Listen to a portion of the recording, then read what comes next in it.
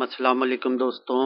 दोस्तों, आप देख रहे हैं Asim P K A to Z videos YouTube channel दोस्तों, आज मैं आपको इस वीडियो में बताऊँगा कि जैसे आप अपना जीमेल अकाउंट कैसे डिलीट कर सकते हैं परमानेंटली ठीक है दोस्तों, चलते हैं क्रोम पे आ जाते हैं।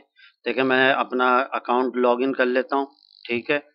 ये हमारा अकाउंट लॉगिन हो रहा है। देखें, हमारा अकाउंट लॉगिन हो गया है। ठीक है? देखें, अब ये प्रोफ़ाइल पिक ठीक है, बस इस पर क्लिक कर दीजिए। Manage your account, Google account देख रहे हैं आप।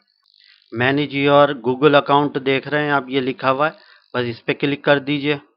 ठीक है यह डेटा एंड पर्सनलाइजेशन लिखा हुआ है, इस पर क्लिक कर लीजिए। नीचे आ जाइए। ठीक है, ये जीमेल लिखा हुआ है। ठीक है, जीमेल पे क्लिक कर दीजिए।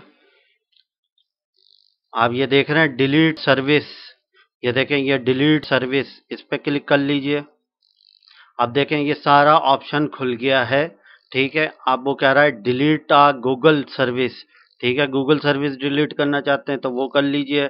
डाउनलोड योर डेटा अगर आपका कोई डेटा आपने गूगल पे आपने सेव किया हुआ है तो वो अगर आप सेव करना चाहते हैं, वो सेव कर लीजिए, ठीक है?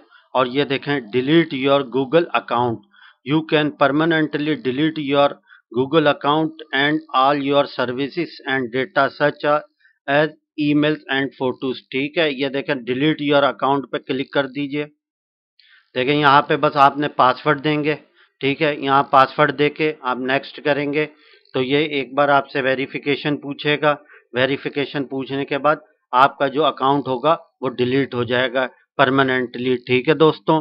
भैया, मैंने आपको समझाने के लिए ये वीडियो थी। जो आपको समझा दिया। ठीक है?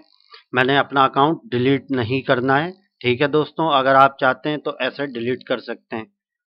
दोस्तों, अगर आपने इस चैनल को सब्सक्राइब नहीं किया तो सब्सक्राइब कर लीजिए। लाइक करें कमेंट्स करें, दोस्तों के साथ शेयर करें। पाकिस्तान जिंदाबाद। अल्लाह हाफिज़।